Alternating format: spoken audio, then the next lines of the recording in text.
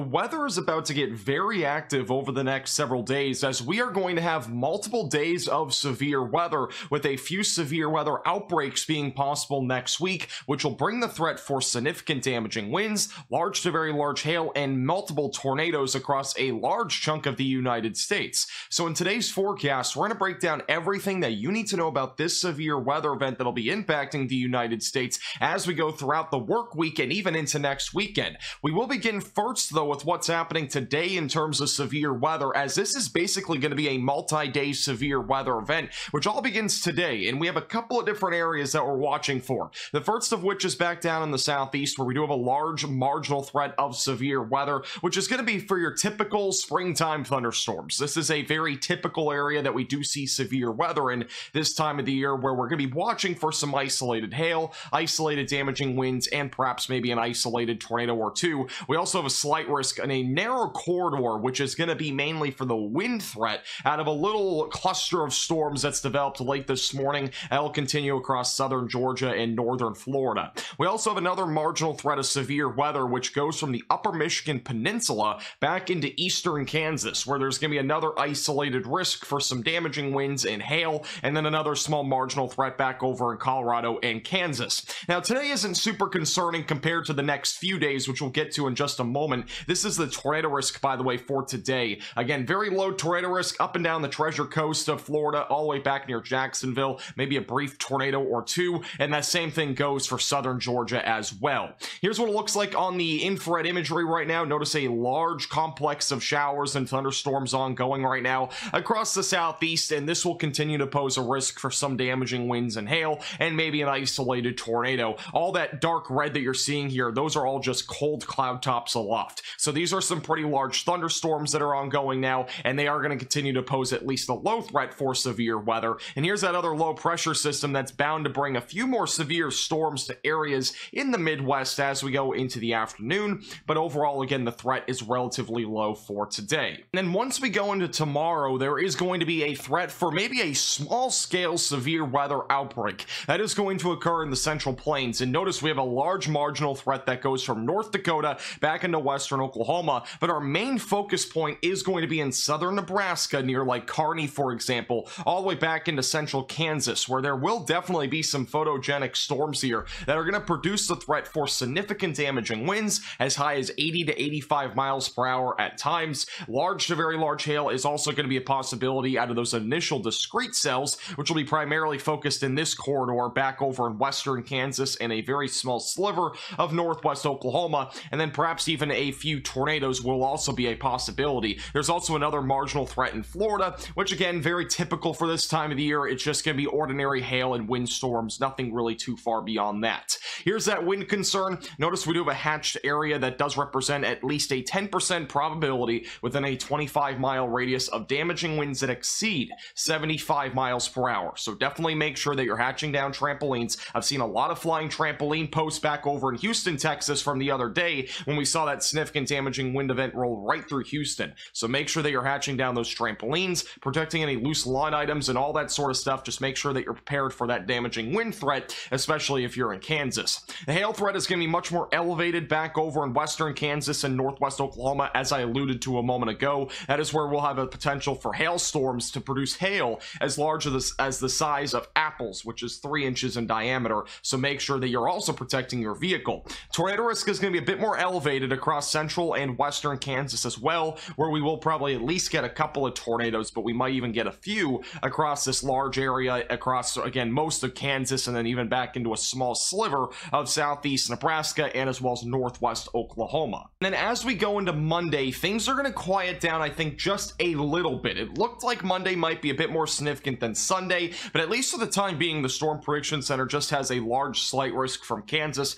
back into Iowa. There's also a marginal threat that goes back into Wisconsin, where we'll be watching once again for the threat of damaging winds, large hail, and maybe even a couple or even a few tornadoes across areas in the central plains back into the Midwest. It's overall not a super big concern, but we'll talk about it a little bit here in just a moment. The bigger concern and probably the biggest outbreak that we'll have all week, at least currently forecasted, is going to be on tossing trampolines on Tacos Tuesday. We do have a large enhanced risk of severe weather across Illinois, Wisconsin, Iowa, Missouri, and even into the eastern Kansas, where we'll have the threat for some very significant severe weather. And more than likely, we are going to see several storms, if not a ton of them, that are going to be producing significant damaging winds, large to very large hail, and as well as a few tornadoes. And a couple of strong tornadoes are also not going to be ruled out in this particular environment. And we'll talk about why in just a moment. But one of the biggest reasons why is that we're going to have a low pressure system that is negatively tilted. And the ones that are negatively tilted often produce the more significant severe weather threat as they are most of the time stronger than the other ones that are positively tilted, for example. And we'll show this in more detail in just a moment to explain it better. But overall, again, that is where the greatest concern for severe weather will be.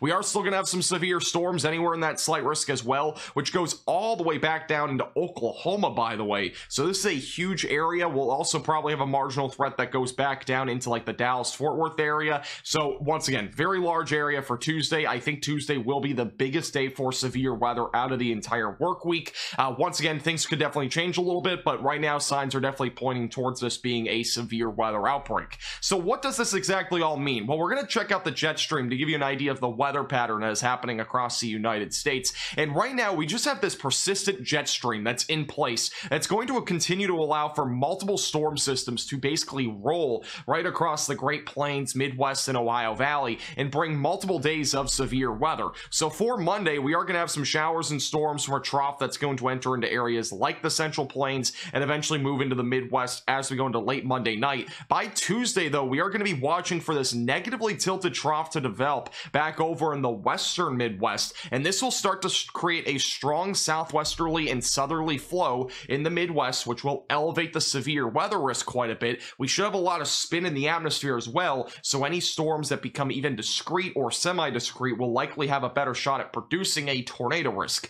With that said, it looks as if a lot of the storms on Tuesday are going to be more of a linear variety, meaning we're probably going to have more of a line of storms that'll produce damaging winds and also maybe a few embedded tornadoes. And then once we go into Wednesday into Thursday, this low pressure system does continue to move eastbound. We'll probably at least have some risk of severe weather in the Ohio Valley on Wednesday, but as of now, it does not look substantial. But I would still be watching the weather closely if you are in the Ohio Valley. By Thursday, we're going to have another trough move across the southern plains, and that'll also bring a risk for severe weather. There's another slight risk down there that we'll show you there in just a second. And then by Friday into Saturday of the upcoming weekend, we are likely going to at least get one or two more storms that'll also pose a threat for more severe weather here in the United States. But those remain relatively uncertain as we are still well over five to seven days out from those events. And before we go into the future radar, I did want to show you the 500 millibar height anomalies. This will give you an idea of the colliding air masses that we're going to have as we go into Monday into Tuesday. So notice all that cold air that's back up in Canada with the different low pressure systems there. Still got a lot of warm air anywhere from the southern plains back into the northeast. But notice this as we go into Monday into Tuesday. We're going to be watching for multiple different storm systems to essentially collide and basically bring a lot of energy into one area. We're going to have all that moisture coming out of the Pacific Ocean. We're going to have all that cold air that's going to be diving out of Canada. And this will eventually lead to just one uniform storm as we go into Tuesday. And notice how that storm really starts to deepen in height across areas in the northern plains in the upper Midwest. And that is why this event is a little bit more concerning than the other ones because we're going to have two different air masses essentially colliding with each other, kind of combining energy in a way. And that's going to eventually lead to the threat for a significant severe weather outbreak there in the Midwest. And this is one of the stronger low pressure systems that I've seen here in quite a while, at least in the United States. So that'll be something to watch for closely. Now, I kind of left this out of the other severe weather graphics, but I didn't want to mention again tossing trampolines on tall trees Thursday. We do have another slight risk in the southern plains, including Louisiana, Arkansas, Texas, and Oklahoma, where damaging winds, hail, and a few tornadoes will be possible. Now, let's go through the timing for the next few days, and we will begin first with what's happening tomorrow. We'll have some showers and storms erupting across areas in the central and southern plains. We'll have a more detailed timing breakdown on this tomorrow, so stay tuned. But overall, most of those storms will be happening really around the late afternoon into the evening hours with damaging winds, hail, and a couple of tornadoes. Once we go into the late evening and into Monday morning, those storms will move into the Midwest. The threat of severe weather in the Midwest should remain relatively low. By late Monday night, those storms will start to ramp up again in the central plains where more severe weather will be a possibility. Strengthening low pressure system will eventually move northeast as we go into late Tuesday evening. This will pose a significant threat for severe weather anywhere from Oklahoma back into areas like eastern Iowa and eventually going into Illinois and Wisconsin by the mid to late evening hours. By the overnight hours, those storms will be moving into like central and southeastern parts of Illinois and even back through Arkansas. And eventually, as we go into Wednesday, that storm activity does begin to kind of fizzle a little bit. We could even see some snow, by the way, even back over northern Minnesota, just for reference. This is going to be a very strong low pressure system down near 988 millibars. By the time we go into uh, Wednesday afternoon, more storms will be possible across a large corridor from Texas back into Ohio. Overall, severe weather does not look to be a significant concern right now, but we are going to be watching that closely in case anything does ramp up there. And as we go into Thursday, Friday, and as well Saturday, things do become a little bit more uncertain, but we are likely at least going to have some level of severe weather on Thursday in the southern plains, and then maybe on the east coast on Friday. And then after that, things just become very uncertain after that. But make sure you're subscribed to the channel, and we'll keep you posted with the latest as we get closer to all of these severe weather events.